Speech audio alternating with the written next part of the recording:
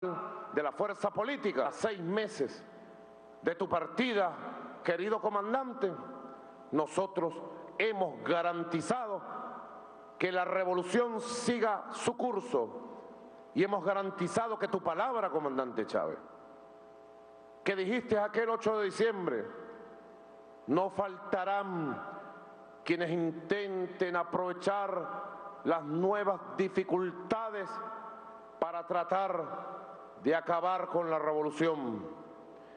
Pero en cualquier circunstancia, pase lo que pase, seguiremos teniendo patria. Hoy a seis meses, comandante, te podemos decir, seguimos teniendo patria, seguimos teniendo pueblo y seguiremos en el futuro consolidando esta patria, esta revolución, más allá de las dificultades, más allá de las acechanzas, más allá de las conspiraciones. Ellos creían que era un paseo acabar con la revolución.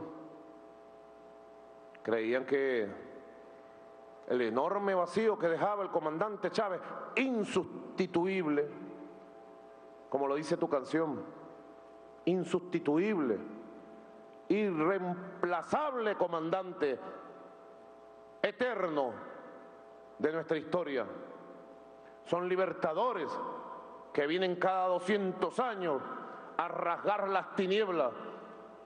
Pero el comandante Chávez en esta oportunidad sí pudo rasgar las tinieblas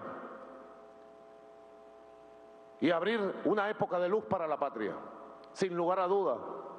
¿Cuántas dificultades afrontó el comandante Hugo Chávez? ¿Ah? ¿Cuántas campañas sucias? No será suficiente el tiempo para recordar cuántos vilipendios, cuántas mentiras diarios, permanentes, nacionales, internacionales, que rayaban a veces con la estupidez humana, a veces rayaban con las formas más asquerosas del fascismo y de la mentira. ¿Cuántas cosas se dijo de Chávez? ¿Cuántas veces intentaron asesinarlo? Moralmente, físicamente. Aún tenemos, como ustedes saben,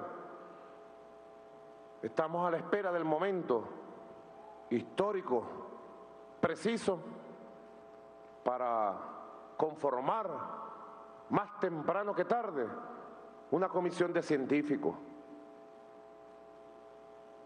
que pueda investigar como se merece nuestro comandante Chávez.